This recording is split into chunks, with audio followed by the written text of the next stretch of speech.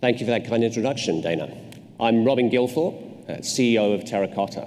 And Terracotta is a firm entirely dedicated to the core principles of, of big data. So here it comes big data, fast. I'm going to share a different perspective on big data, um, offer a few of the many ways that big data can impact your world in positive ways, encourage you to change your perspective, think about new opportunities, and potentially change your roadmap for the future. We're not just changing the technology landscape, but also what is possible in our organizations and at a personal level. And that is what makes the topic of big data so exciting for us all. Big data is a secular phenomenon, not a fashion, not a fad, not a trend. Karl Heinz mentioned yesterday the digitization of the world has set us on a path of generating, accessing, and analyzing more, more information than ever. 90% of the world's data has been created since 2010. And we're not going back.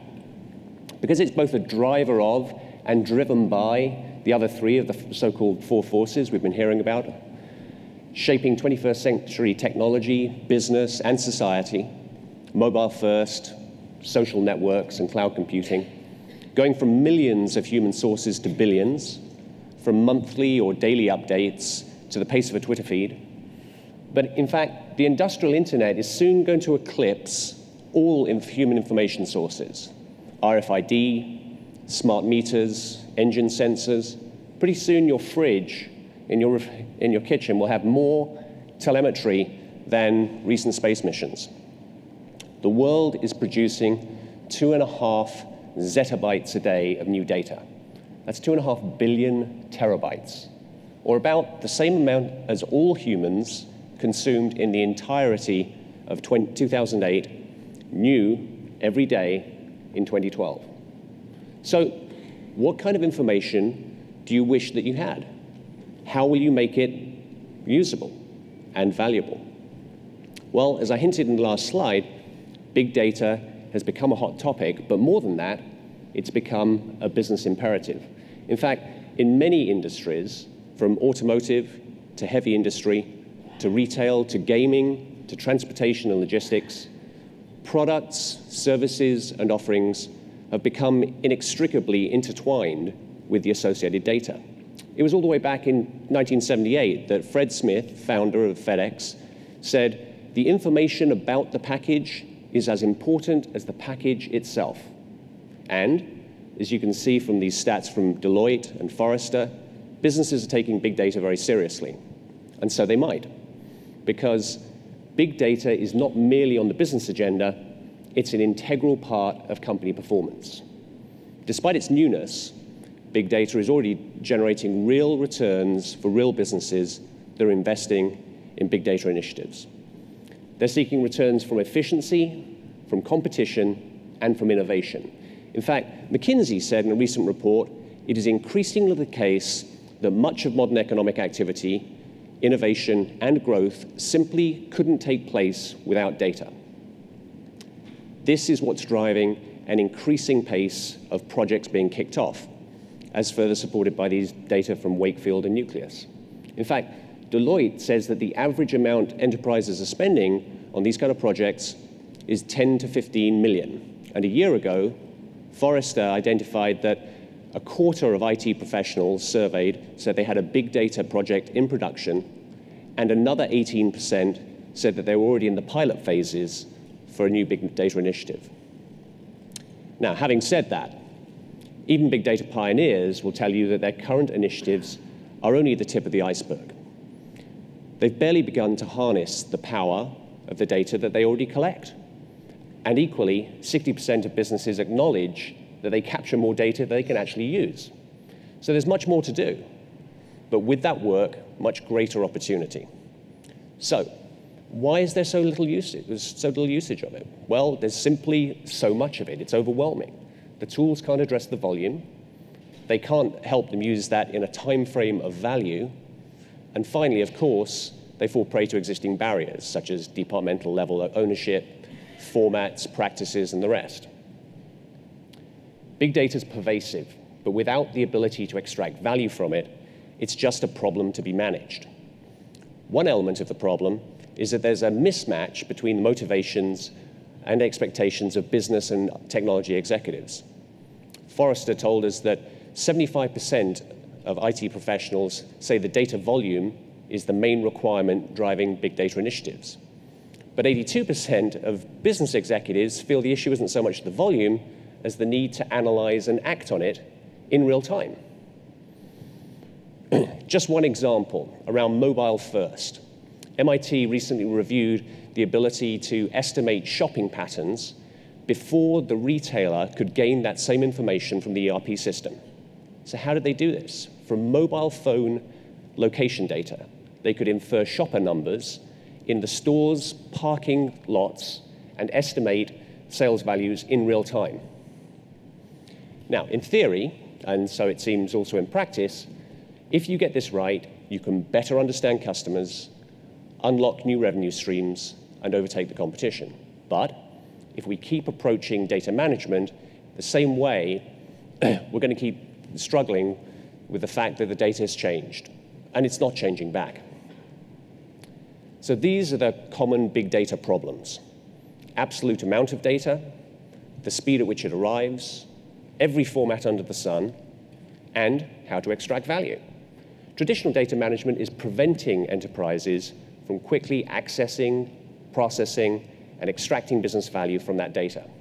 So we need a new generation of data management, what we call DM2. And Terracotta is a key element of delivering on that vision. Data management infrastructure must simultaneously address all those four, four challenges, volume, velocity, variety, and value. That's why we're seeing a shift from having this main load borne by the database to the main load in memory, taking access times from three milliseconds from a hardware perspective to 50 nanoseconds. That's roughly equivalent between the difference between a, a day and a second. But big data access alone isn't so much the problem as access to insight. Why do I say that? Well, let me just relate a, a personal conversation, probably in the, in the vein of uh, Dana's comments about Gene Simmons, that sixth grade teacher. I have two kids. One's a very good student, 17. The 14 year old boy, not so much. So I got the inevitable question. Many of the parents in the room will have had this. Why do I need to revise for this test? Why don't I just look up everything on the internet? Probably much like you, you're a little stumped. What do you say? Well, fortunately, I knew two things about my son. He'd shared with me from very early on, from the age of six, that he had two goals in life. One was to be an inventor, and the other was to be rich. Not bad. the key, so my answer was because you have to learn stuff to invent stuff. You have to learn stuff to invent stuff. This is why. You can't create insight from what you can't hold in memory. Think of the pre IT world. Imagine you hold two books describing two different theories or concepts, and you lay them on the table together. You have to open those books, consume the thoughts, hold it in memory, analyze, synthesize, all in memory, and work out that intersection to create new insights. It's the same for humans and for computers. So, why learn? To innovate faster and to perform better. But isn't the memory we already have enough to do that? Well, no. See, quantity, those insights that depend on all the two factor combinations, have already been discovered much to the disappointment of my own career as an inventor. They're not novel anymore. They're not innovative. Now you look at 22 and 222 factor combinations. So you need a lot more data in memory to be able to innovate. Now, fortunately, Terracotta doesn't find more data a scary requirement. We're the leader in in-memory data management for the enterprise. Our organizational DNA is dedicated to that premise. And our team even sets the standards in this emerging space, for example, JSR 107. Leading enterprises all over the world put their most valuable data in our products. And in return, we provide modern, enterprise tested data management that delivers extreme performance at any scale. Our flagship pro product line is called Big Memory. It takes large scale data sets, that's capital B, capital D, big data, and puts them in memory. We do that for three key reasons scale, speed, and simplicity. Big memory is unique in the world of data management and the world of in-memory solutions. Usually, you can have lots of data at slow speeds, or little bunches of data at high speeds, or even any data at fast speeds, but only sometimes. Unfortunately, at other times, generally at the times when you can least afford it, you get much longer latencies. But Terracotta does big data extremely fast and with consistent low latency and high availability. Oh yes, and we make it simple. There are pieces of our technology here at Terracotta that are very clever. But one of the beauties of our approach is that we significantly hide that complexity. We deliberately make this as easy to implement and use as possible. Big Memory works with any Java application. It's embedded in webMethods and other applications. It works with state-of-the-art, off-the-shelf commodity hardware. No tuning, special hardware or skills are required. We have products that snap in with two lines of config and scale up by typing a new number into the parameters. So this layer, this platform, is a key enabler of the agility of which Wolfram also spoke. Agility in runtime through speed, agility between runtimes through ease and flexibility to add new streams at scale, whatever they may be. So simple and so powerful, big data, big memory has become the competitive advantage for big brands who depend on Terracotta to deliver big value from that world of big data. In fact, you personally already use big memory in travel or telecommunications industries, in paying for your online shopping or arranging for its shipping across town or across the globe.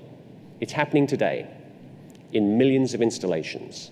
It truly is becoming the default platform for in-memory systems to address the big data challenges that we, that we have in faster business.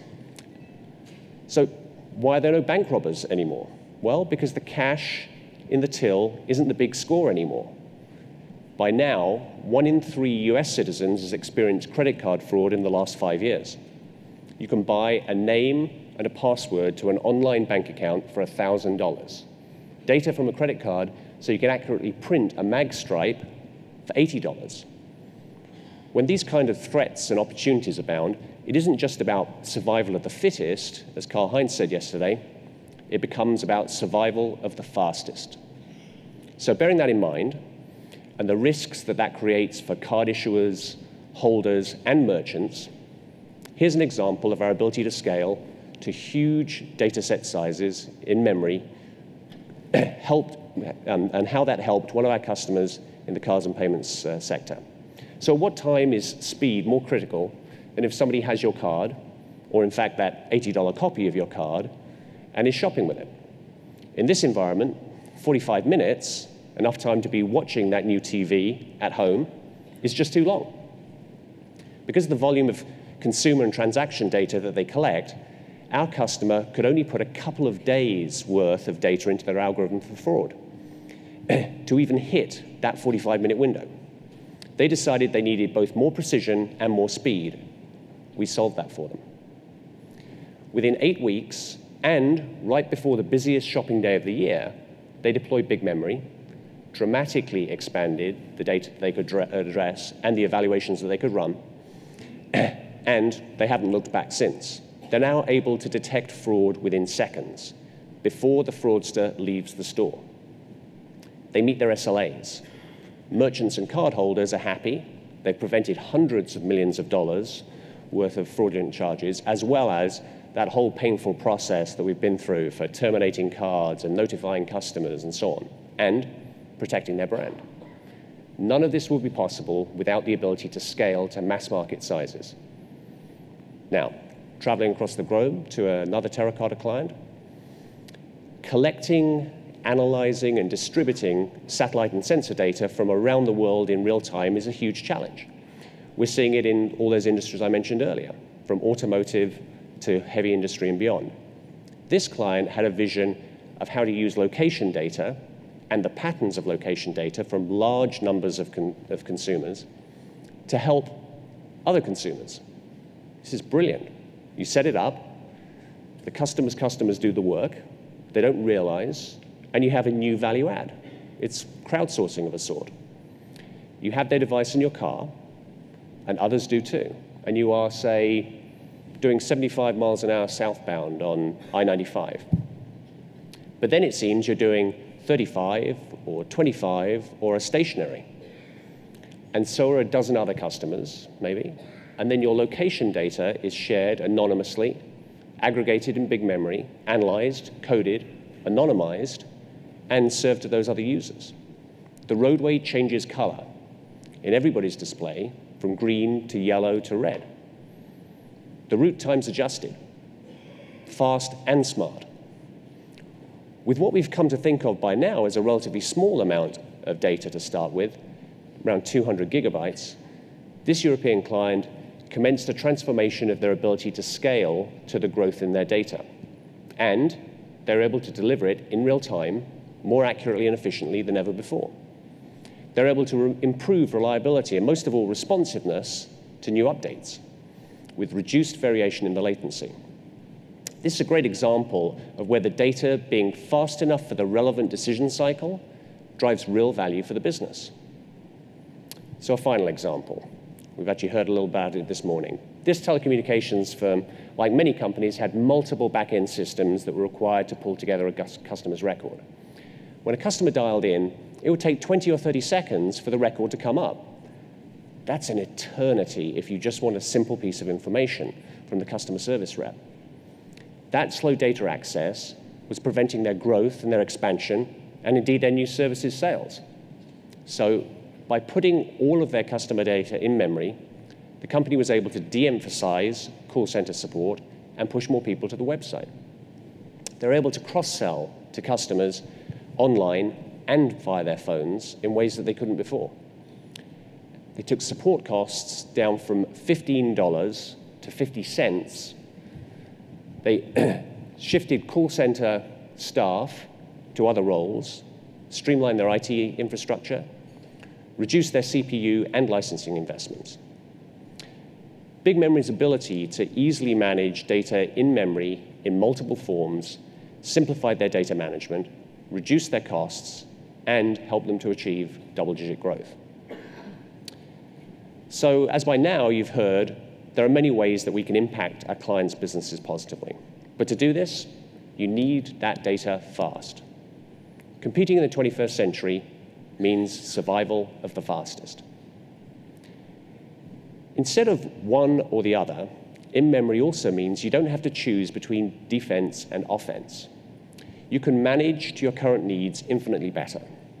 You can serve emerging needs, for example, social, because social is about a conversation, a good conversation. And a good conversation isn't punctuated by long, awkward pauses.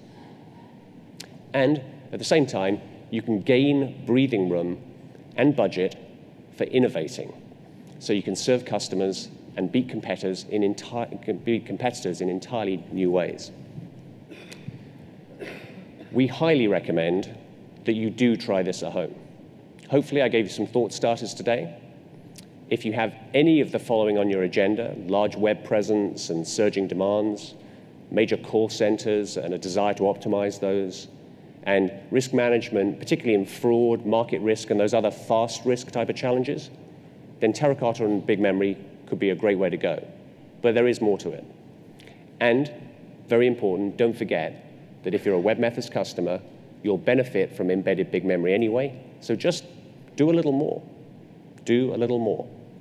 We're here to share ideas on how this approach can actually help you address the brave new world. So please stop by the booth at the Solutions Hall or contact us directly on the website. And you're also most welcome to join our track session presentation on big memory later today. Thank you very much.